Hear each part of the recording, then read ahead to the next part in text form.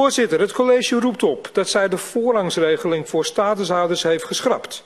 Voorts belooft het college ook dat statushouders een woning krijgen toegewezen via directe bemiddeling. Hetzelfde resultaat met een ander trucje. Een administratief trucje dus.